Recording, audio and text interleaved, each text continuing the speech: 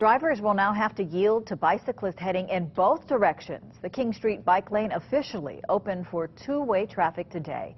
KITV4's Ashley Moser explains what this means for bicyclists and drivers.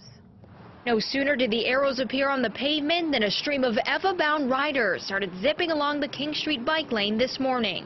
I go from Manoa to Bishop Square. Bobby Evans Yeah. bikes to work every day. He says this is a game changer. It uh, makes my commute so much safer and um, like so much more calm. Before the protected bike lane, he trekked to work alongside cars, making his commute a stressful one. Now he says it's a smooth ride. I don't like have to compete with traffic or ride super fast to feel like I'm like not blocking other people. So in the end, it's just so much less stress for me.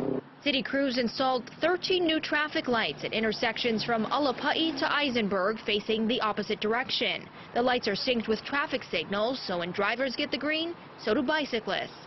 But there is concern for those behind the wheel, watching for riders coming from both ways.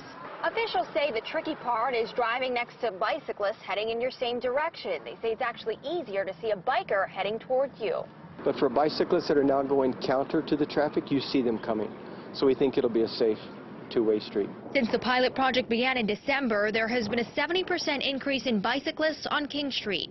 Officials say the success could lead to another bike lane around the city. If it's implemented, they say it would be without these asphalt berms between the lane and on-street parking.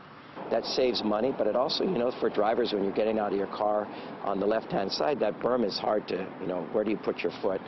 So we're going to be looking at other things, too. Ashley Moser, KITV4 News. The city will also be removing 11 on-street parking stalls along the bike lane after the public complained that it was just hard to see pulling out of driveways along King Street. The total cost of this project is between 525 and $575,000.